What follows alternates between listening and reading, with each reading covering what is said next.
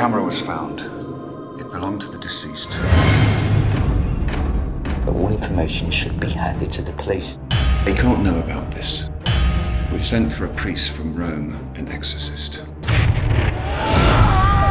One thing monitoring a building is another thing being in the middle of a goddamned exorcism. We'll be fine.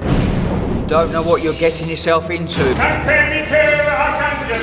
There's a presence here far worse than he realises. What happened here that night? We found the camera.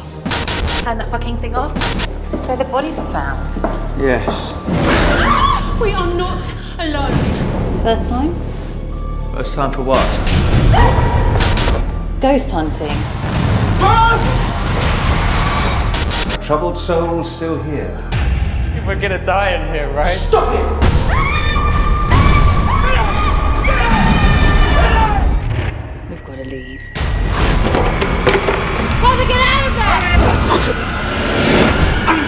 fire!